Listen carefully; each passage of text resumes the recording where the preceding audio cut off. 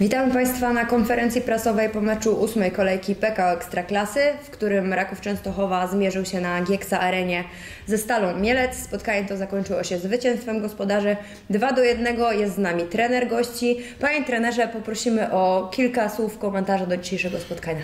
Dobry wieczór Państwu.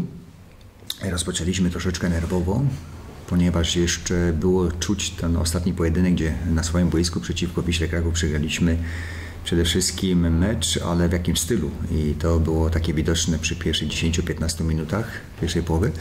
Z minuty na minutę rozkręcaliśmy się w cudzysłowie i byliśmy moim zdaniem co najmniej równorzędnym partnerem do, e, do Rakowa Częstochowa. Mm, później, gdzieś tak w 30 minucie straciliśmy bramkę na 0-1, to nam troszeczkę, że tak powiem, szyki pokrzyżowało, bo nie mogliśmy grać w 100% tego, co sobie założyliśmy przed meczem, jeśli chodzi o ofensywę przede wszystkim. Ale w drugiej połowie, wychodząc na boisko, mm, graliśmy z wiarą, e, więcej zdecydowania, więcej pewności siebie. Mm, miałem takie wrażenie, że zespół bardzo dobrze to wszystko zaczął realizować i z minuty na minutę byliśmy zespołem no, co najmniej równorzędnym, a jeżeli nie, no to nawet troszkę lepszym niż, niż Raków Częstochowa i przynajmniej optycznie tak to wyglądało. No i później no, szczał, szczał niedzieli, można tak powiedzieć, bardzo ładne uderzenie, gratuluję rzeczywiście, bardzo fajny, fajny niestety dla nas, ale bardzo ładna bramka. No i przy 0-2 gra się jeszcze trudniej, prawda? Ale zespół nie załamał się, zrobiliśmy odpowiednie zmiany, staraliśmy się właśnie ofensywne impulsy wprowadzić i co za tym idzie, strzeliliśmy bramkę kontaktową na 2-1, no i zaczęło się robić coraz, coraz lepiej, przynajmniej dla nas, ale niestety dzisiaj jeszcze nam zabrakło troszeczkę tej pazerności pod bramką przeciwnika, e, ale po 90 minutach, mimo że przegraliśmy ten mecz, jestem bardzo zadowolony.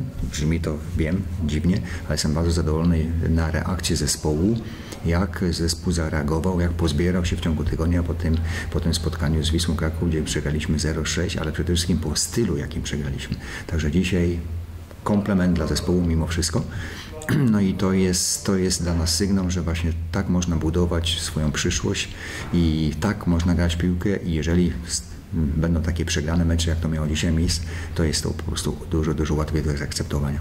Dlatego gratuluję zespołowi Rakowa Częstochowa, ale jestem bardzo zadowolony z reakcji mojego zespołu, jak dzisiaj się zaprezentował podczas 90 minut meczu z Rakowem. Dziękujemy trenerze. Dwa pytania. E, pan Grzegorz Maj w cieniu Jupiterów 24.pl. E, pierwsze pytanie, czy Andrija Prokic grający od pierwszej minuty na środku napadu sprawdził się na tej pozycji i kiedy do dyspozycji trenera będzie Mateusz Mak, którego brak jest dotkliwie zauważalny? Mateusz Mak znajduje się w treningu, e, ale jeszcze nie jest w 100% zdrowy, dlatego dzisiaj nie mógł nas wzmocnić ale mam nadzieję, że w przyszłym tygodniu, po tygodniu treningów, e, jeżeli się nic nie wydarzy takiego niespodziewanego, to będziemy mogli liczyć na, na, na Mateusza w meczu z, w Pucharze Polski z Piastem Gliwice. A jeżeli chodzi o mm, Andrzeja Prokicza, wiemy o tym, że to nie jest typowy numer 9, ale dzisiaj z taktycznego punktu widzenia bardzo nam pasował do tego meczu. No i, i nie, może nie, że, że szczelił bramkę, że miał bardzo dobre sytuacje, ale mm, no, mieliśmy dość silny punkt, jeśli chodzi o Andrzeja z przodu. Dlatego, dlatego na dzień dzisiejszy jesteśmy zadowoleni z niego jako numer 9. Drugie pytanie, mm, trochę meteorologia. Czy nisko zachodzące słońce w pierwszej połowie mogło być przyczyną błędów i niedokładności w obronie? Ja myślę, że nie słońce, tylko przede wszystkim właśnie ta niepewność, która jeszcze pozostawała przede wszystkim w głowach zawodników po tym ostatnim meczu z Wisłą Kraków. To właśnie powodowało, że nie było tej dokładności, nie było tej swobody, nie było tej pewności siebie. Dziękujemy. Za chwilę druga część konferencji. Dziękuję. Gościem drugiej części konferencji jest trener gospodarzy, pan Marek Papszun. Trenerze, tradycyjnie poprosimy o komentarz do dzisiejszego spotkania. Dobry wieczór. Nie jesteśmy przyzwyczajeni do roli faworyta, takiego zdecydowanego jak dzisiaj e, byliśmy i bardzo się cieszę, że dźwignęliśmy to, że E, wygraliśmy i za to gratulacje dla zespołu, bo nie jest łatwo grać z przeciwnikiem, który przegrywa 6-0 i przyjeżdża do lidera, gdzie nie ma nic do stracenia i może generalnie tutaj zrobić e, nie tyle co chce, co tylko może wygrać tym, tym spotkaniem. To, to nie są proste zawody, dlatego jeszcze raz podkreślam i gratuluję zespołowi tych trzech punktów. Co do meczu, no myślę ilość sytuacji, którą wykre, e, wykreowaliśmy, no, mogła, mogłaby nam dać taką zdobycz bramkową spokojnie jak, jak Wiśle Kraków. Natomiast no, trudno, żeby zespół przegrywał co tydzień taką ilością e, bramek.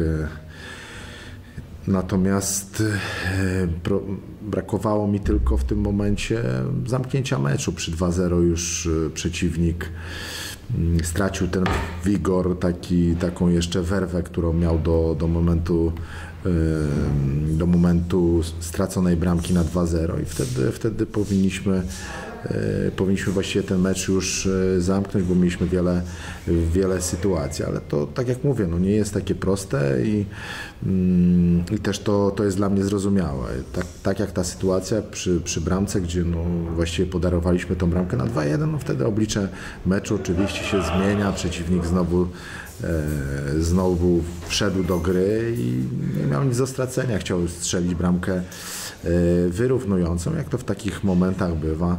Zyskał przewagę, próbował coś zrobić, ale, ale nie miał tutaj e, specjalnie klarownych e, sytuacji. Myślę, że zwycięstwo nie, nie jakieś liczebne mocno i, i dużą ilością bramek, ale zupełnie zasłużone. Dlatego jeszcze raz podkreślam, no cieszymy się dzisiaj. Trzy punkty zawozimy do Częstochowy i, i szykujemy się do kolejnego meczu. Dziękuję. Dziękuję, nie ma do trenera pytań. Dziękuję, dobranoc.